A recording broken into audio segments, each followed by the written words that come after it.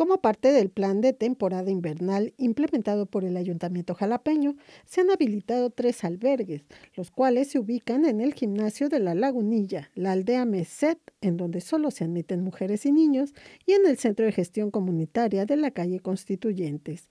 Para ello, se realizan recorridos por la ciudad, ubicando a personas en situación de calle, a quienes se invita a que se resguarden.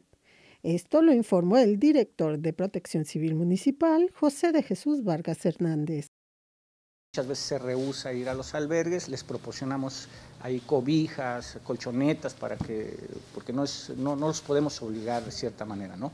Pero ante esto también las personas que encontramos con algún tipo de adicción, como esas este, personas alcohólicas en vía pública, los llevamos este, a, los centros de, atención con los que tenemos contacto.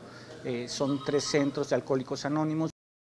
Refirió que hasta el momento 12 personas han sido admitidas en los centros de alcohólicos anónimos, en donde se les atiende y al otro día pueden salir. El director de Protección Civil Municipal informó que también han acudido a hospitales en donde se entregaron cobertores a los familiares de los pacientes. Muy importante que las personas que se ubican en viviendas donde todavía se calientan con leña, con carbón, pues que ventilen bien lo que son sus este, habitaciones, porque sí puede eh, representar un problema grave, inclusive hasta la muerte. Y ahorita nos estamos dando precisamente la tarea de habilitar este, cuatro albergues o refugios temporales en la congregación del Tronconal, de Chiltoyac, de la 6 de enero y del Castillo, se están habilitando también.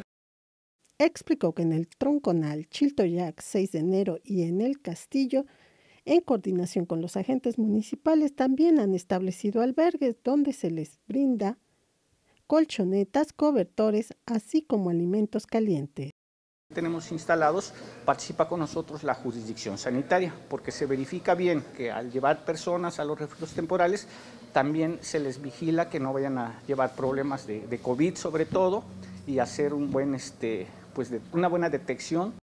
Berta López Aguayo, RTV, más noticias.